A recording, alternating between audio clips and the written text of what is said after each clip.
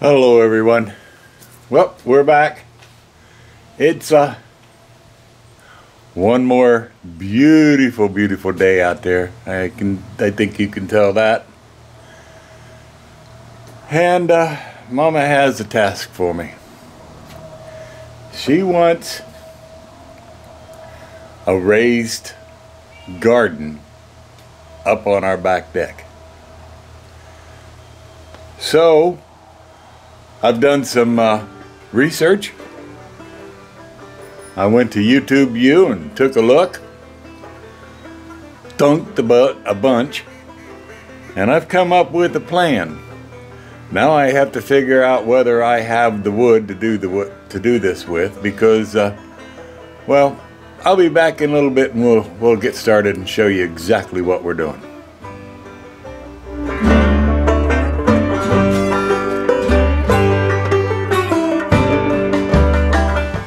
Okay, well the first thing we're going to do here is, or I have done, is I took a plastic barrel, a white plastic barrel, and I cut it in half.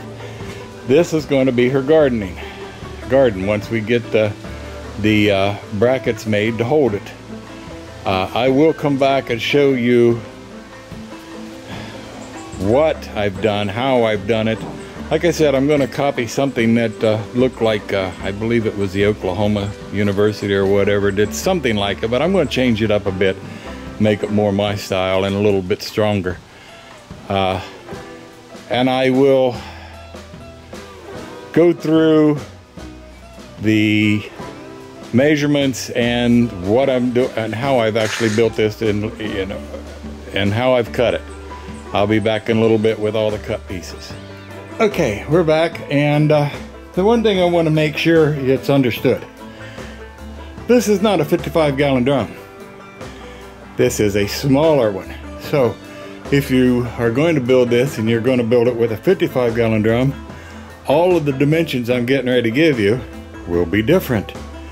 But it's easy to figure it out, which is uh, exactly what I did by cutting the barrels in half, sticking 2x4s around, making measurements. This gives me, and also from here to there, this gives me uh, all the dimensions I need. And then when you look at the, the height,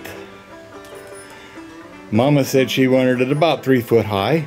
So I took the dimensions of a 2x4 by 8 foot and I decided to try to get as much out of it as I possibly could. So here's what I did. I cut four 35 and one quarter inch pieces of 2 by 4 I cut four 31 and three quarter pieces of 2 by 4 I cut two 46 and a quarter inches of 2 by 4 I cut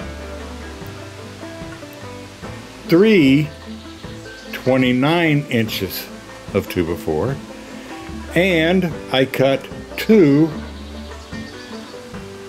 43 and a quarter inches of 2 by 4 now each one of these measurements were raw measures just like I see you see right here. I will square it. You can tell that's a little different back there but that's okay. That's all right. That's not going to hurt a thing I'm going to go ahead, I'll put this, I'll get uh, my screws and everything out here available. And then I will come back with this. It'll be on a tripod and I will basically put it together before your very eyes. And we'll see how there's also one, two, three, four, five, six, seven, eight, eight more pieces that I will be cutting and you'll see them laying over here when I come back. And I think you'll automatically know what they're going to be. See ya. Favorite jobs, jobs that I get to sit down at.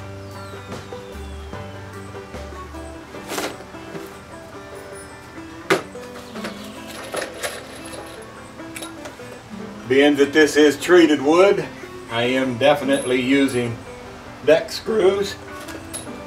Uh, and then by the time I get done here, well, basically I can tell you now. I have used seven two by four by eights to do this. Now, that is a little bit pricey to a certain degree. But the fact that I did do this with treated lumber will mean that this is going to last for a long, long time. We discussed using regular construction grade and then staining it. And I suppose that would have worked also. But I believe in the long run this is still going to be the best issue, the best method. It always helps when you have your drill going in the right direction.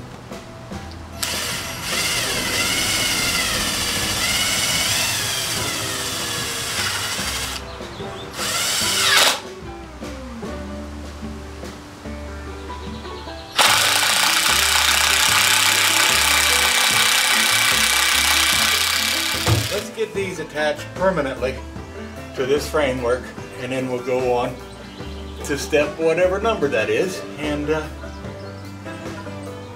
see what we do. Now what I'm going to do here is I'm going to use one and a quarter inch by eight decking screws. They're short ones. And uh, fender washers. Uh, the fender washers are basically to keep the screws from pulling through the plastic. And uh, I'll put three on each side, here and here, and two? On each end.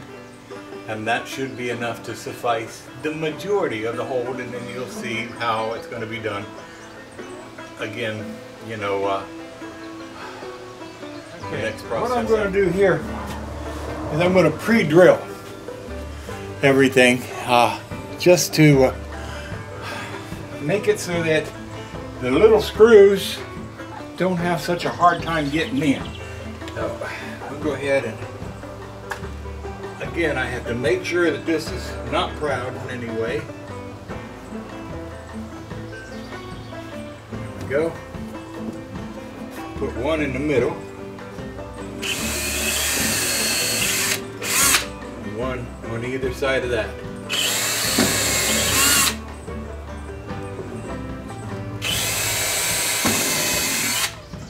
Okay.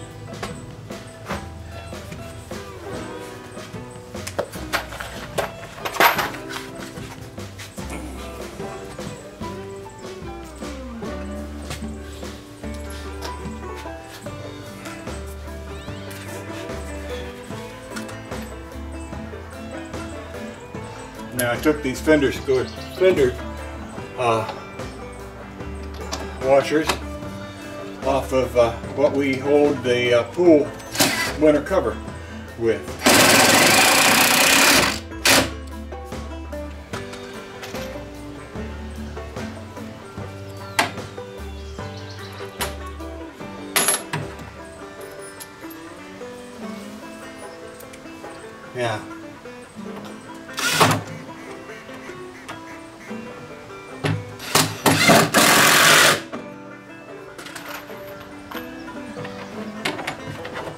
I'm not uh, going to continue to bore you all with me putting screws in. So as soon as I get this one in, I will shut the camera off and I'll finish putting these all in and I'll bring you back when that's all done. So I'll be right back. Okay, you can see here that I have it screwed in. I said I was going to put two on either end, but you know, if I was using a 55 gallon drum, I think that's exactly what I would do. I would use uh, two on each end, but being that these are smaller, and I'm not sure, maybe this is a 30 gallon, I'm not 100%, uh, but I figured it really only needed two. So, what I'm going to do now is lay it back down on its top like it was before, and uh, we're going to go to uh, step number two. If you remember at the beginning, I said I cut four pieces at 35 and a quarter. And I cut four pieces at 33 or 31 and uh, three quarters. If that's the case, I should be able to screw these together and have a 2 before width right there at the top which is perfect. And that's going to be There's my four like they tried to do. So I think that's what we're going to do. I think that's what we're going to. I don't like that knot. If I'd have known that, I'd have cut it the other way around. And this side is not that pretty. So that's what I'll do like this. Cover this up. That'll be at the bottom. We will put that together, put that together, and we will screw we'll put enough screws in here that it will hold it and we won't have too much of a problem but to verify we're good okay put one here to start it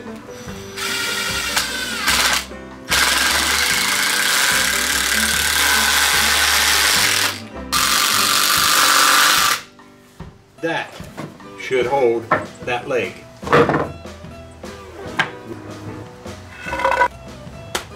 if I take this, put it like that, I should be doggone close.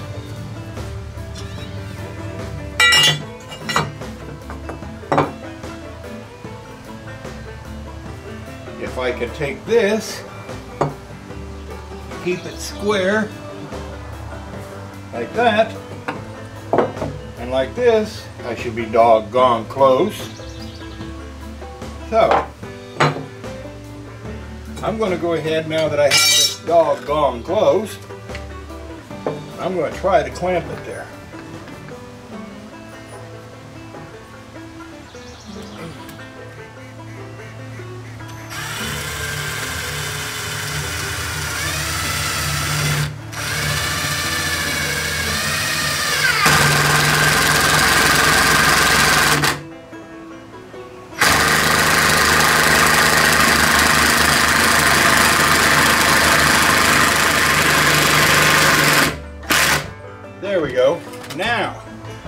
if I am correct, I can take this off and that should stay pretty much there, but I can still move it around.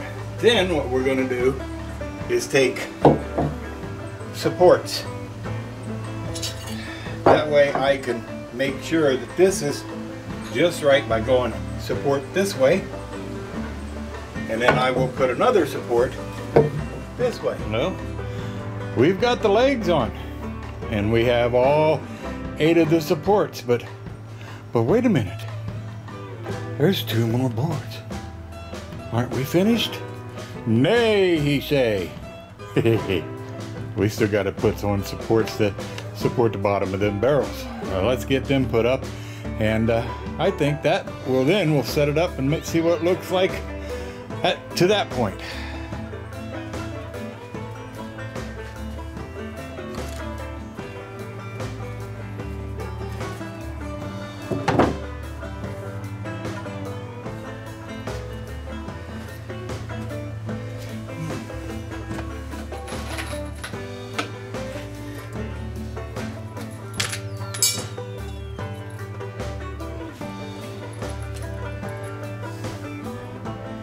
By the way, I did look and this was a 30 gallon barrel. Not a 50, a 30 gallon barrel. Okay, there it is. And uh, I think it's actually not too bad looking. Let me get away from it so you can see it a little better. It's not too bad looking. So should we uh, should we call this finished? I think not. I have other ideas. What what do you think of this? I have uh, I have some cedar fencing to uh, I think to dress up the top of it. Take it over. Instead of having all of the ends of those boards showing, I can miter out the corners and it would look more like this. I think that would make it uh, a lot better looking. Okay. So, Okay. oh, you would think look at this. See what it looks like from out here. I don't think that looks too super bad at all. Now, whether I'm going to be able to pick it up and carry it up onto the back deck. But wait a minute. We still have one more thing to do. Oh, yay. We have to put drains in this. It's going to be on the deck, so I don't want it to drain all the way all over the deck. So we got we got the stuff to do it. Let's get her done. We'll be back in a minute and I'll show you what we've got. Okay? Now, I'm going to say, I think it's done. I have the drains. These are called tank drains. Uh, I got them at Lowe's. I basically drill a one and a quarter inch hole in there and uh, stick that in with, uh, and it has a rubber grommet that seals it. And uh, then underneath, let me see if I can get it, you attach this small little piece there that goes on and then you can attach a, uh, a garden hose to it. I have some pieces of garden hose that'll hook to that. That way when it drains, it'll drain off of the deck and not onto the deck. And uh, Mama will definitely be happy about that. You asked me if she liked it? Let's put it this way. By the time I got it up here, and before I could get the dirt in it, she already had her potted plants sitting here ready to go into it. I think she did. Happy birthday, sweetheart.